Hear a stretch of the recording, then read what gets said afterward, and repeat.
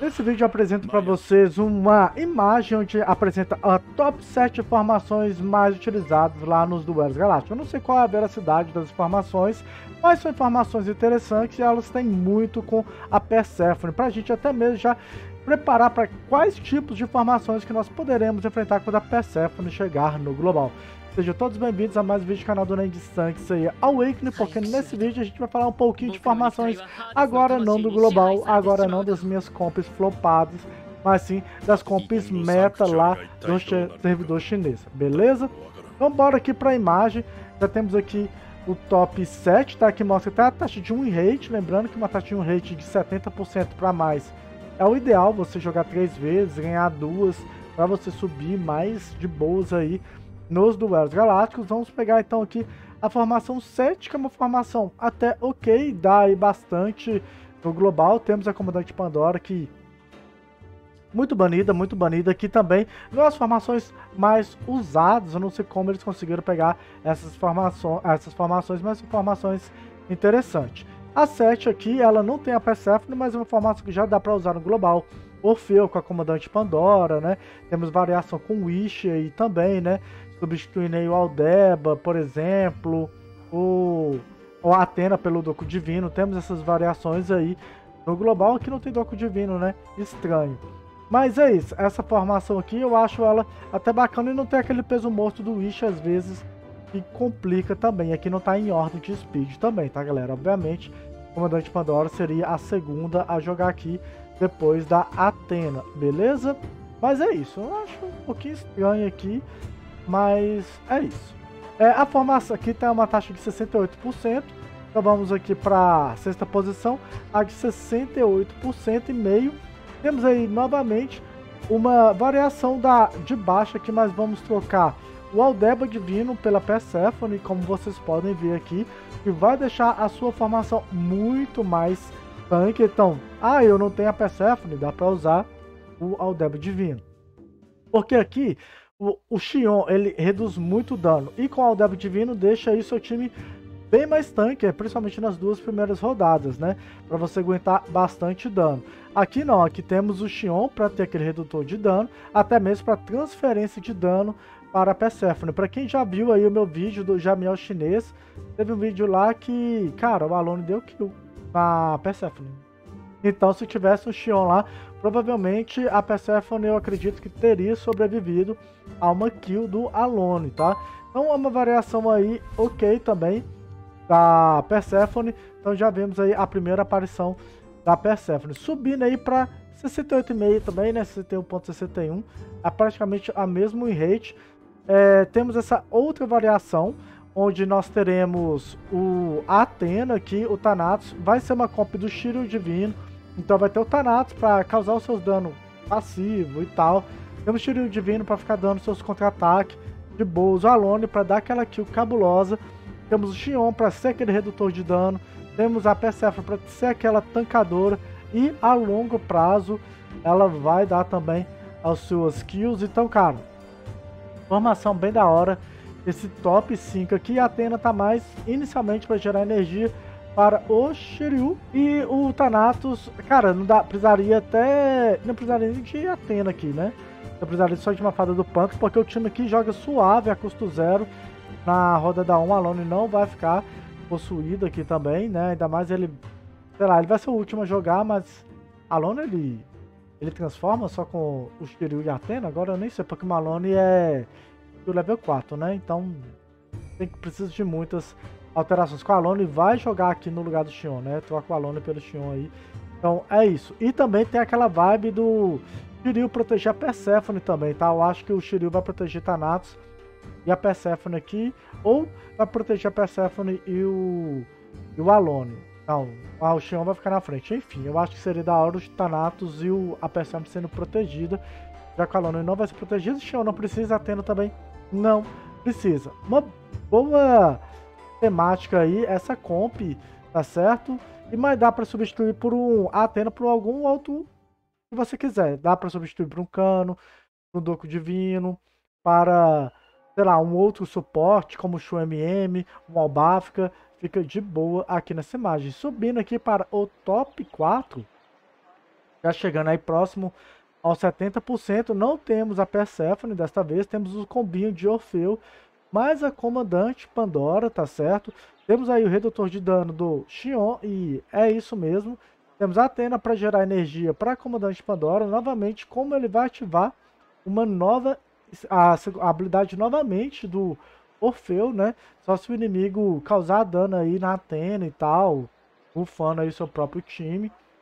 E vai gerar mais de energia para o Orfeu. Então acho estranho, né? O Orfeu não ativar duas, dois hits na roda da 1, mas já dá para causar um dano bem legal por causa de atacar o dano, causar dano no flagelo e causar dano também o Fala, o flagelo causar dano no time inteiro e o Orfeu causar mais um hit aqui. O que, que vocês podem perceber, galera? Que não tem um cano.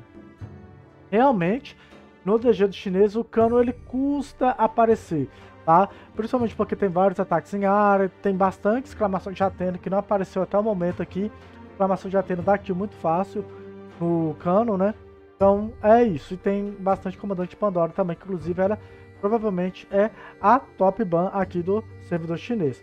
Mas a gente vai conferir agora o top 3, mas antes não esqueça de deixar aquela moral com seu like, sua inscrição e se possível compartilhar. E bora lá, e lembrando que essa aqui não é a ordem original, tá? Chegando no top 3 também com seu 70% de taxa de win rate, temos novamente o Shiryu Divino. Atena, como vocês podem ver, tá em todo canto Atena, né? É, no caso, temos o Shion Sapuri, que também está em todo canto. O Shion Sapuri, então, redutor de dano é muito importante. Ele está mais interessante do que o Aldebo Divino. A galera está usando. Realmente, o Shion ele aparece mais do que o Aldebo Divino aqui, mas não é, desqualificando o Aldebo Divino. O Hags, ele realmente está aparecendo, mas eu não sei se ele seria topzera assim mesmo, para ficar com top 3, tá, galera? Mas o Hags mais Persephone tá um combo delícia no DG. Para quem viu o meu vídeo do Jamiel chinês às oitavas de finais, eu não consegui no primeiro dia, talvez poderia ter o Hags lá, mas na oitava de final não teve Persephone mais Hags, né? Para ser um time top 3 aqui também. Então temos aí o Shiryu Divino, que é muito foda, porque a Persephone vai tancar os espectros quando alguém falecer. O, a Persephone tanca os espectros e o Shiryu ainda consegue colocar shield. Cara, esse é um combo muito, muito forte. Shiryu Divino, Persephone e Hags. Cara, é um combo muito forte. Spectro falece e o Shiro fica colocando escudinho lá. Então, eu acho que isso aqui vai virar modinha no global, desde que nenhum deles sejam banidos, tá? Indo aqui para o top 2, temos aí o Aldeba Divino, já com o Shiryu Divino e já com o Xion. Então, um time bem defesa, é um time que é para tancar demais o dano do oponente. Então, se o, acho que nem a Lona aqui vai dar kill a Persephone, provavelmente. E tem o redutor do Aldeba, redutor da Xion. E se ele quiser dar alguma kill em algum outro aliado seu, ainda tem a Persephone para tancar os 20% mais também. Então, ó, fantástico essa planilha aqui também. Esse time, realmente eu gostei desse time 3 aqui, eu gostei. Esse time 2 vai contar com Thanatos dando seus ataques passivo, né? Tem o Shiryu também dando seus ataques passivos, Aldeba também dando seus ataques passivos. Se alguém ficar lá na execução da Atena. A Atena vai lá, finaliza, faz virar pó o seu adversário. Temos também o Alder para poder tirar o espírito do inimigo. Então já comba aqui as energias da Atena com Shiryu e Aldeba Divino para o inimigo tomar muito mais dano, principalmente se ele não tiver June, já que eles usam bem pouca June no servidor chinês, beleza? E é isso, é literalmente ataque passivo e na medida que a luta vai prolongando, a Persephone vai sugando o PV máximo do inimigo, ela vai colocando a semente no, nos inimigos, né? E depois vai ativando para aqueles que realmente é crucial ser eliminado pela Persephone. Então, ó, da hora. E agora vamos conhecer o melhor time eles dizem do servidor chinês. Estranhamente, o Albafrica somente apareceu aqui, mas ele apareceu no top 1 o melhor time, com, tem quase 73%, aqui de acordo com essas sugestões de formações. Temos novamente um time que não precisaria gerar a energia da Atena, mas aqui, lembrando que é do lendário, então é uma Atena pelo menos 4555, então ela vai ficar imortal, inimigo está com 35% do PV ou menos, né, um terço. Ela vai virar, fazer o inimigo virar poeira, então é uma Atena outra vibe. É outra vibe, tá? É uma Atena que vai ficar imortal, então é outra vibe.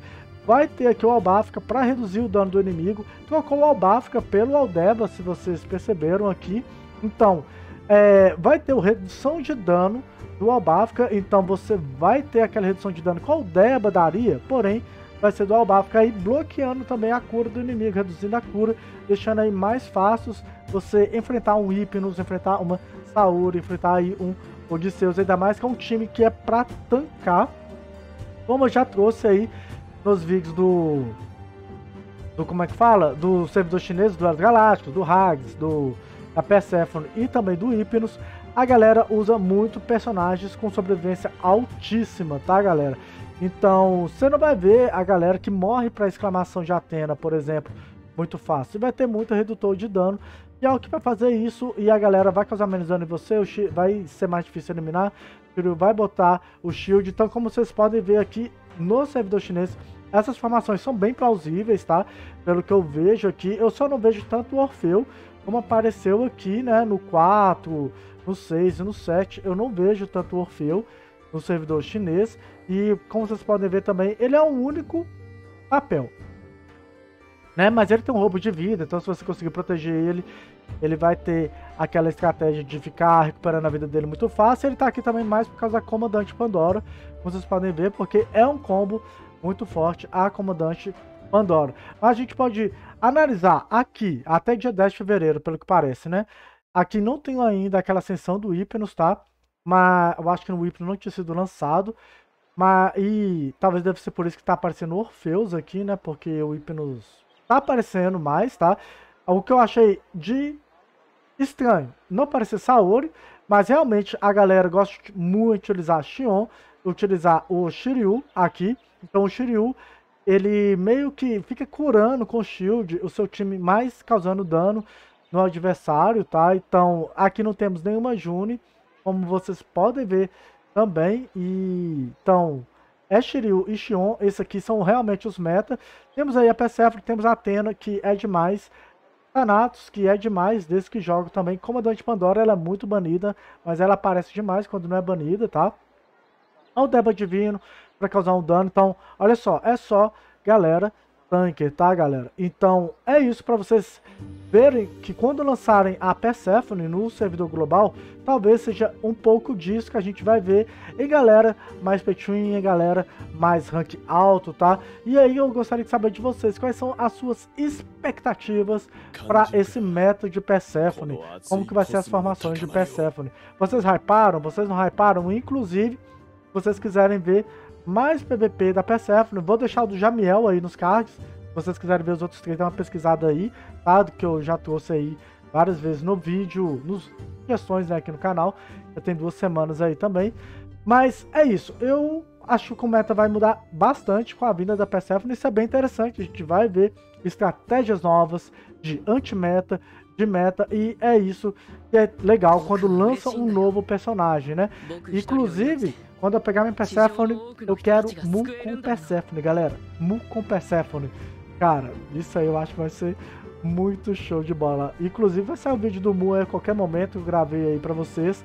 Mas eu tava fazendo a live jogando com o Mu e tava pensando assim, nossa, o Mu vai ficar bem da hora com a Persephone. Então vai trazer aí umas novas oportunidades, estratégias para o meta do global também, com a vinda aí da Persephone, beleza? Então é isso, eu vou ficando por aqui.